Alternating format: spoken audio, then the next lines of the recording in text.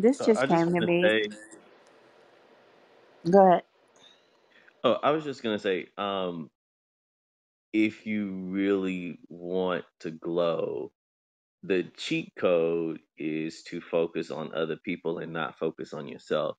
I think that so many times in this iteration of where we are, um, especially being American, we are taught to focus on us and you know you need to focus on you when you need to get back to you and you need to think about you.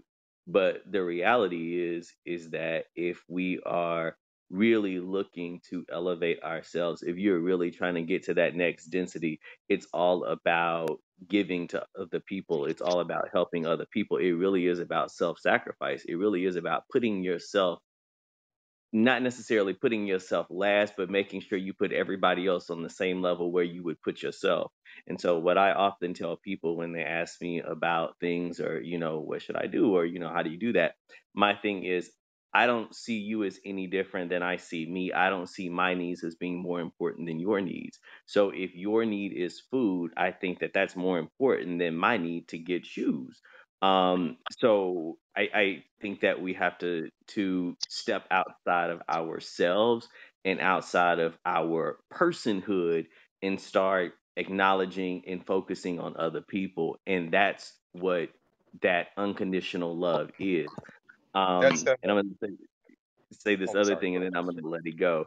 But um, one of the the hard parts about loving people unconditionally is not that you yourself cannot love them, it's that they create the conditions by which they allow themselves to be loved by lying, by hiding, by not being their authentic self.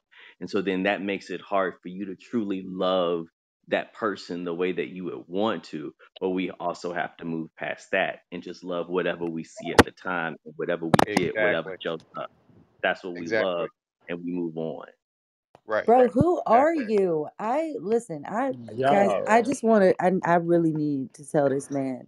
Um, you are amazing and I love how articulate you are and the way that you just express that hit in every possible way. Thank you cuz I God, I know somebody else wants to go so I'm going to hold it, but I want to build on that so hard. It's a recent epiphany I just had. So thank you. Okay, I will yield and then I'm going to tap in after whoever goes next. No, I was gonna say that's the journey, right? And so we, we come in and then we have the ego that expresses itself when it's repressed at a certain point in life. And so then we create this, we, we start ex- expressing our identity out on the world because we need to be who we want to be and who we've always wanted to be.